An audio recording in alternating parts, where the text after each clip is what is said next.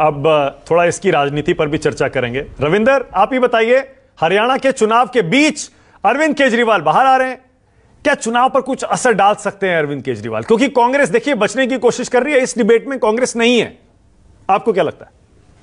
जी, नमस्कार। बिल्कुल, देखिए, इसका असर तो हरियाणा की राजनीति पर थोड़ा बहुत पड़ेगा क्योंकि एक, जो मोमेंटम है, एक टेंपो जो जो कार्यकर्ताओं का आम आदमी पार्टी की है, उनका टेंपो तो मोरल बूस्टर होगा। लेकिन ज़मीन पर इसका कोई बहुत ज़्यादा असर इसलिए शायद नहीं पड़ेगा कि जो बहुत इंपॉर्टेंट फ़ेज़ था कैंपेनिंग का और अपना बेस यहाँ पर क्रिएट करने का, वो अरविंद केजरीवाल लोकसभा चुनाव के बाद से जेल में हैं तो उस समय का सदुपयोग वो नहीं कर पाए। हरियाणा के होने के बावजूद सबसे बड़े नेता हरियाणा के हरियाणा के रहने वाले हैं, इसलिए वही हैं। और वो समय का अगर सदुपयोग कर पाते, उनकी गैर हाजिरी में उनकी पत्नी को यहाँ पर कई सारी रैलियाँ करनी पड़ी, लेकिन उनका जो असर होता वो उतना असर आम आदमी पार्टी का नहीं हुआ। तो आम आदमी पार्टी का कोई बहुत बड़ा बेस यहाँ पर है, ऐसा नहीं है। शहरी इलाकों में ज़रूर थोड़ा बहुत असर ज़रूर पड़ेगा इनका। लेकिन अरविंद केजरीवाल के आने से कोई आम मतदाता पर असर होगा, इसकी संभावना कम है। हाँ नुक्कड़ों पर चाय की टपरियों पर चर्चा का विषय यह ज़रूर बनेगा कि आज उनको जमानत मिल गई।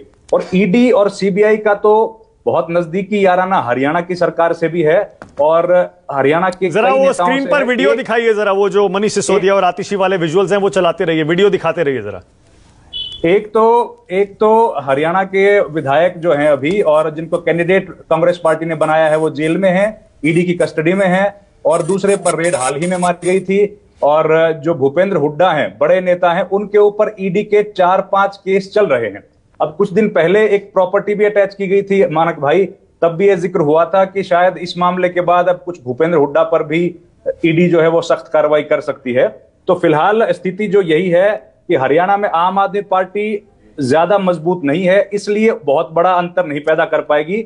लेकिन शहरी इलाकों में अगर केजरीवाल जाते हैं और क्योंकि वो लोकल यहाँ के रहने वाले हैं, कुछ अगर अपील हो तो थोड़ा बहुत शहरी इलाकों में वो डैमेज कर सकते हैं। लेकिन कोई बहुत ज़्यादा अंतर पड़ेगा ये इस बात की संभावनाएँ फ़िलहाल हरियाणा में तो नहीं दिख रही है, लेकिन कांग्रेस पार्टी जो है उसको थोड़ा सा डैमेज कर सकती है आम आदमी पार्टी, क्योंकि इनके जो बड़े नेता हैं, जो आम आदमी पार्टी के बड़े नेता हैं, वो उस इलाके में चुनाव लड़ रहे हैं जहाँ पर कांग्रेस के प्रोस्पेक्टस जीतने के ज़्यादा हैं और बीजेपी के कंपेरेटिवली कम है। तो उस इलाके में अगर केजरीवाल जाते हैं तो उनको नुकसान हो सकता है, और इसलिए आम आदमी पार्टी कांग्रेस को उन इलाकों में डैमेज करेगी और शहरी इलाकों में क्योंकि आम आदमी पार्टी के पास कोई बड़े कैंडिडेट नहीं है बड़े चेहरे नहीं है तो उस शहरों में उनका बड़ा नुकसान नहीं होगा क्योंकि उनका कैंडिडेट कैंडिडेटर जो है वो कमज़ोर है।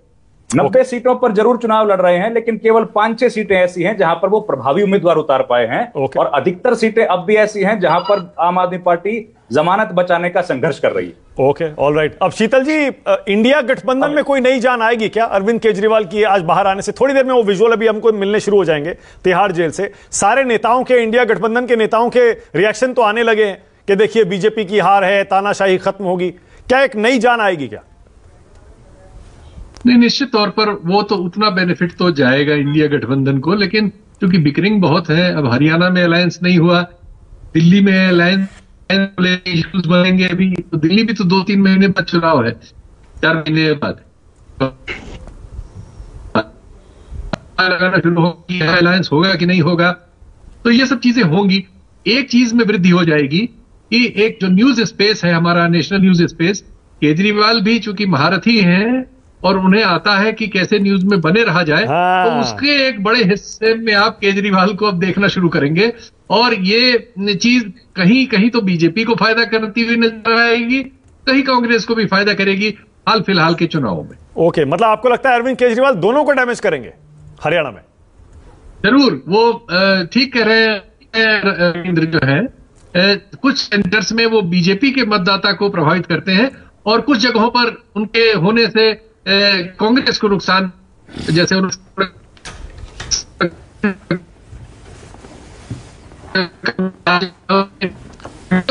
ज़्यादा है तो अगर उनकी एक्टिविटी बढ़ती है तो निश्चित तौर पर उससे कांग्रेस के जीतने के चांसेस में कुछ कमी हो सकती है। Okay. लेकिन मुझे फिर शक है हरियाणा में पिछले चुनाव में भी करीब 40 सीटों पर आम आदमी पार्टी थी और केजरीवाल की कोई प्रतिष्ठा उस समय कम नहीं थी लेकिन उनको नोटा के आसपास वोट मिला था।